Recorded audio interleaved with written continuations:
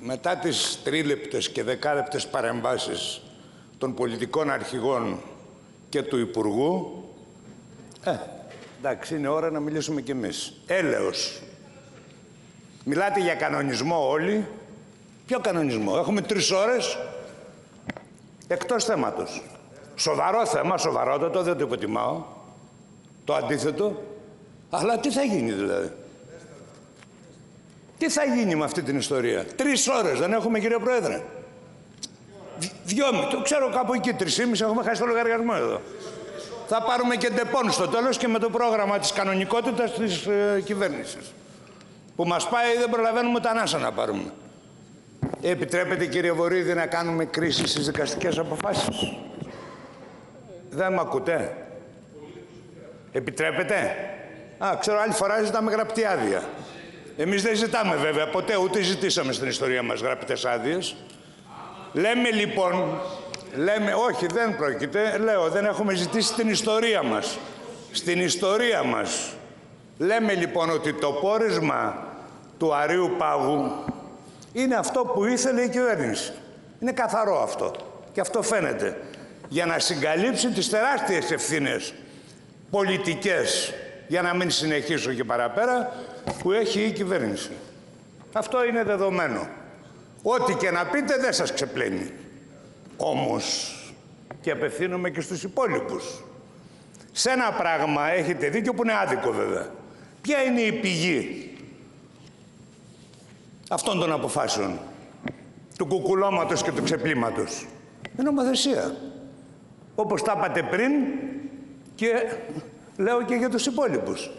Είναι το νομοθετικό πλαίσιο που επιτρέπει δίνει τη δυνατότητα και στην κυβέρνηση και στο κράτος να εντείνουν κυριολεκτικά τη μαζική προληπτική παρακολούθηση στο δόγμα ουδής εξαιρείται της παρακολούθησης.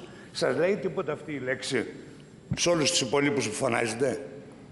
Το ουδής παρακολουθείτε, ε, ουδής εξαιρείται το παρακολουθήσεων. Ποιος το λέει; Η Ευρωπαϊκή Ένωση πρώτα απ' όλα κυρίες και κύριοι που κάνετε την πάπια και την Ευρωπαϊκή Ένωση, που παρουσιάζετε την Ευρωπαϊκή Ένωση σαν μια ένωση δημοκρατίας και αγγέλων. Όταν η Μέρκελ κατήγγειλε ότι την παρακολουθούσε ο Ομπάμα. Και τι έκανε; Τίποτα. Το θεσμικό πλαίσιο που έχει φτιάξει η Ευρωπαϊκή Ένωση είναι ένα τέρας.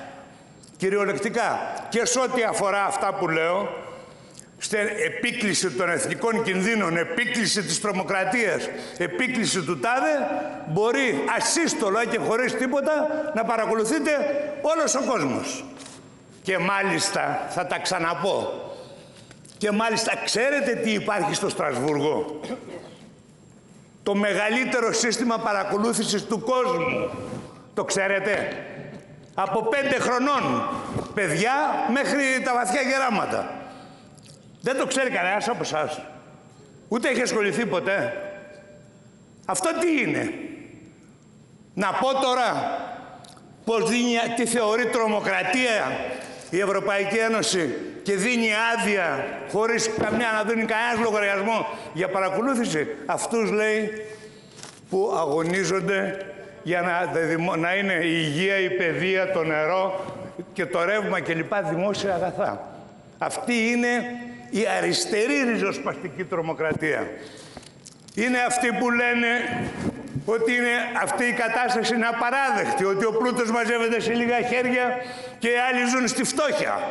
Εν δυνάμει είναι και αυτοί που υποθάλπουν την τρομοκρατία, άρα παρακολουθήστε τους όλους. Πώς ζούμε τώρα; Δεν ξέρουμε τι γίνεται. Με όλα αυτά. Δεν το ξέρετε το θεσμικό πλαίσιο. Και για τους υπόλοιπους που διαμαρτύρεστε, δεν το έχετε ψηφίσει. Στο Ευρωκοινοβουλίο. Όλες τις οδηγίες δεν τις έχετε ψηφίσει όλοι πλην ΚΚΕ. Αυτά είναι πολύ προ προηγούμενα χρόνια. Ε, εσείς δεν ήσασταν στην Ευρωβουλή. Λέω όσοι ήταν στην Ευρωβουλή. Ούτε εσείς. Αλλά και εκεί που ήσασταν την ΚΑΠ την ψηφίσατε και τώρα φοράτε για τους αγρότες. Την ΚΑΠ την ψηφίσατε. Αστερίσκους έβαζε και ο Παπανδρέου και μετά υπογραφή της συμφωνίας για τις βάσεις. Άστα τώρα, αυτά τα ζήσαμε. Τα ζήσαμε και τα ξέρουμε. Λέμε λοιπόν ότι αυτό το θεσμικό πλαίσιο είναι που επιτρέπει όλα αυτά και που επιτρέπει και στον κύριο Βορύδη να λέει σύμφωνα με τον νόμο. Ποιο νόμο; Τι νόμος είναι αυτός; Και μιλάτε μετά για ατομικές ελευθερίες, για κοινωνικά δικαιώματα, για ατομικά δικαιώματα κλπ. κλπ. Συντρίβοντας κυριολεκτικά την προσωπικότητα του κάθε ανθρώπου. Και αυτό δεν είναι μόνο για τέτοιες υποθέσεις. Στοχεύει μακροπρόθεσμα. Γιατί αιώνιοι δεν είστε. Γιατί κάποτε οι λαοί θα ξεσηκωθούν. Και θέλουν να προλαμβάνουν όσο μπορούν. Δεν θα το αποφύγουν βέβαια ποτέ. Τρίτο θέμα. Εδώ που μιλάμε πράγματι για την παρακολούθηση αρχηγού κόμματος κλπ. κλπ. Για παρακολούθηση ολόκληρου κόμματος με στοιχεία του ΚΚΕ για 10 χρόνια με την κυβέρνηση και του ΣΥΡΙΖΑ και της Νέας Δημοκρατίας. Τι έχετε να μας πείτε. Είναι σκάνδαλο αυτό; Εμείς λέμε ότι δεν είναι σκάνδαλο. Είναι η συνήθις λειτουργία των διάφορων μυστικών υπηρεσιών και εδώ. Τι κάνατε γι' αυτό; Το κουκουλώσατε όλοι. Και εσείς του ΣΥΡΙΖΑ. Και όταν σας τριμώξαμε, γιατί είχαμε διευθύνσεις, ε, μα όχι διευθύνσεις, τηλέφωνα, από 14 χώρες, εντάξει, ξέρουμε τώρα πώς γίνονται όλα αυτά, και τι σταθμοί μυστικών υπηρεσιών υπάρχουν, όλα αυτά αναγκάστηκε ο κύριος Ρουμπάτης να πει ότι εγώ δεν μπορώ. Δικαστική συνδρομή ζητήσατε. Εσείς του ΣΥΡΙΖΑ, όχι. Εσείς της Νέας Δημοκρατίας, όχι. Δεν ζητήσατε συνδρομή δικαστική να μας πούν πού ανήκουν αυτά τα τηλέφωνα, σε ποιες χώρες είναι, παρότι τα βρήκαμε και από μόνοι μας, και να δώσετε ένα πόρισμα. Άχνα, κουκούλωμα. Εκεί δεν παραβιάζονται. Ε, όλο κόμμα. Τέλος. Η, η δικαιοσύνη. Η ανεξάρτητη. Μας δουλεύετε. Ποιος διορίζει την ηγεσία της δικαιοσύνης; Η ακάστοτε κυβέρνηση. Έτσι δεν είναι. Ο ΣΥΡΙΖΑ που βγαίνει στα κεραμίδια πριν να γίνει η κυβέρνηση έλεγε απαράδεκτο να πάμε με τις προτάσεις αυτές να βρούμε τέλος πάντων μια κοινή λύση όλα τα κόμματα να εκλέγονται ή να, να εκλέγονται από ένα ευρύτερο σώμα κλπ. κλπ. Μάλιστα η Νέα Δημοκρατία επέμενε η κυβέρνηση. Νόμιζε ότι θα είναι αιώνια. Αλλά δεν έχει σημασία αυτό. Πάμε λοιπόν στην αναθεώρηση του συντάγματος. Πρόταση του ΚΚΕ να καταργηθεί ο διορισμός από τις κυβερνήσεις και να εκλέγεται από ένα ευρύτερο σώμα. Ποιος το ψήφισε; Κανένας. Κανένας. Κανένας δεν το ψήφισε αυτή την πρόταση. τώρα μην με γαργαλάτε. Όταν είπαμε να καταργηθούν οι φοροαπαλλαγές οι 57 που είναι στους εφοπλιστές και που παραβιάζουν και το ίδιο το Σύνταγμα μέσα στο Σύνταγμα, ποιος τις ψήφισε; Κανένας από όλους. Αλλά εδώ για τη δικαιοσύνη που κόπτεστε, ανεξάρτητες αρχές, τι λέτε; Πόσο ανεξάρτητες, έλεος δηλαδή. Ποιος τις φτιάχνει, ποιος τις διορίζει; Η εκάστοτε κυβέρνηση. Ναι ή όχι; Και φυσικά παίζουν, μπορεί, υπάρχουν άνθρωποι τίμοι, δεν ε, τα βάζουμε με αυτούς, όλους συνολικά, αλλά όμως σε αυτή την κατεύθυνση και μετά παραπονιέστε για το ράμο ή για τον τάδε ή για τον χ, για το ψ, ατομικά κλπ. κλπ. Όταν όμως σας λέμε να καταργηθούν δεν έχουν κανένα νόημα οι ανεξάρτητες, γιατί οι ανεξάρτητες τι κάνουν, φορτώνουν ορισμένες κυβερνητικές ευθύνες, συμφωνείτε κύριε Βορειοδή βλέπω, ε; τις φορτώνουν σε ανεξάρτητες. Ανεξάρτητες λέει. Μα οι ανεξάρτητες δεν ακολουθούν την κυβερνητική πολιτική. Τι ελέγχουν τους αντιλαϊκούς νόμους που ψηφίζει κάθε κυβέρνηση; Αυτούς εφαρμόζουν και δεν μπορούν να κάνουν κι αλλιώς. Πού και πού καμιά φορά υπάρχουν άνθρωποι που κάνουν μια κόντρα, δεν έχει αποτέλεσμα πρακτικό, νομικό γιατί τα θέματα είναι πολιτικά και δεν, και δεν είναι νομικά. Πρέντατορ.